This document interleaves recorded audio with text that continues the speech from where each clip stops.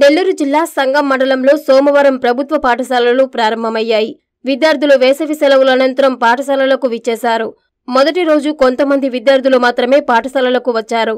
ఈ సందర్భంగా పాఠశాలల ప్రధానోపాధ్యాయులు తల్లిదండ్రుల సమక్షంలో విద్యార్థులకు జగనన్న విద్యా కానుక కిట్లను పంపిణీ చేశారు. ప్రభుత్వ పాఠశాలల్లో ఉన్నతమైన విద్య లభిస్తుందన్నారు. ప్రభుత్వం కల్పిస్తున్న వసతులను సద్వినియోగం చేసుకునేలా ప్రతి తల్లిదండ్రులు ప్రభుత్వ బడుల్లోనే తమ పిల్లలను చేర్చాలని ఈ సందర్భంగా ఉపాధ్యాయులు సూచించారు. అనంతరం ఉపాధ్యాయులు తరగతి గదులు నిర్వహించారు.